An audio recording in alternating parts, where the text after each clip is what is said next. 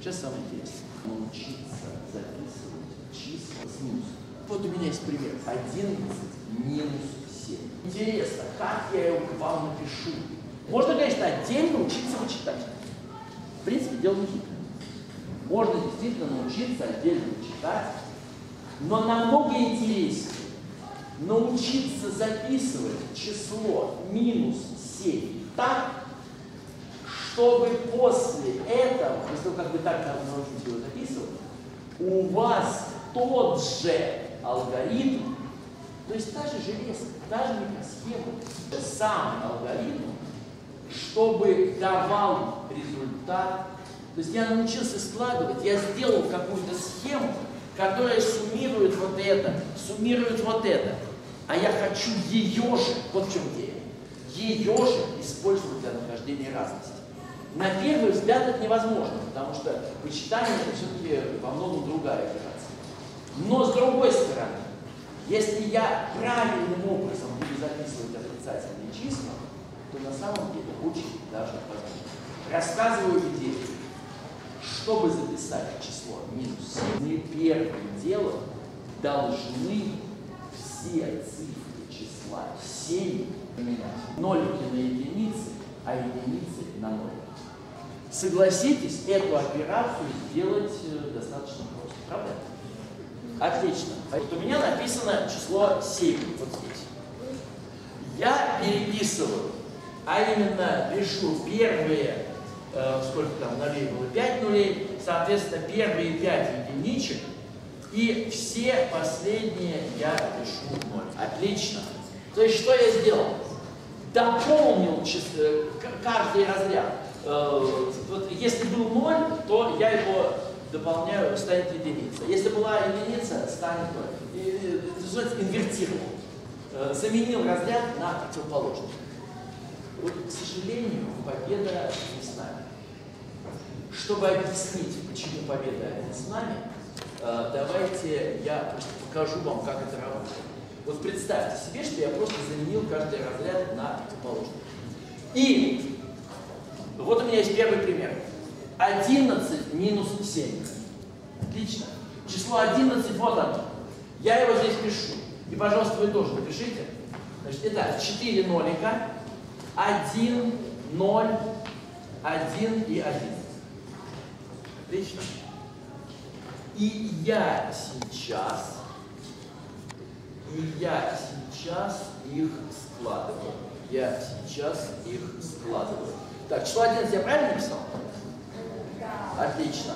Число минус 7 я пытаюсь написать не так, как писал 7. Замечательно. Здесь будет 1. Здесь будет 1. Здесь будет что? 0. Здесь будет? Здесь будет 0. Здесь будет 0. 0. А вот дальше замечательная идея. Тут, по идее, будет единица. А я сделаю так, чтобы этот перенос у меня уходил бы куда-нибудь непонятно куда, он не было. Я просто соответствующую штуку в электронной схеме делаю. Раньше я специальный проводочек, который куда-то там делает перенос, а сейчас этот проводочек просто И у меня получилось положительное число. Ребята, это же здорово. Смотрите, у меня за знак отвечает э, первый, первый битик.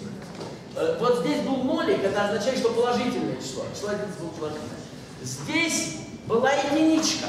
Это означает, что отрицательное число.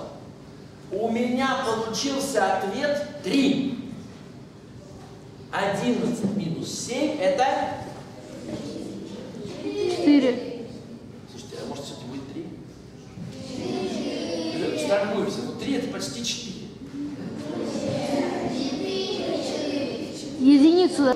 Настаиваете, что если вас каждый раз будут на единичку обсчитывать, то это вам не понравится, да? Замечательно. В таком случае, к сожалению, придется записывать число минус 7 не таким образом, как я написал. Действительно, это неправильная запись, но почти правильная. Надо прибавить Сейчас пишу правильный пример. Итак, Э, число 11 я пишу по-прежнему. 4 нолика, 1, 0, 1, 1. А здесь я пишу 1, 1, 1, 1, еще 1, 0, 0, 1. И вот их складываю. Я сейчас объясню, почему это все работает. Э, итак, здесь нолик, перенос происходит. Э, здесь нолик, перенос происходит. Здесь единичка. Здесь нолик, перенос происходит.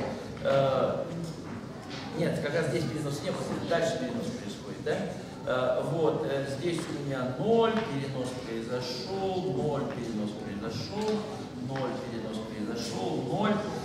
И здесь возникла единица, но она никому не интересна, потому что договорились, что ее нет и получили правильный ответ. Сделайте оставшиеся на доске три примера. 11 минус 13 равно минус 2. Минус 19 минус 3 равняется минус 22. И минус 19 плюс 3 равняется минус 16.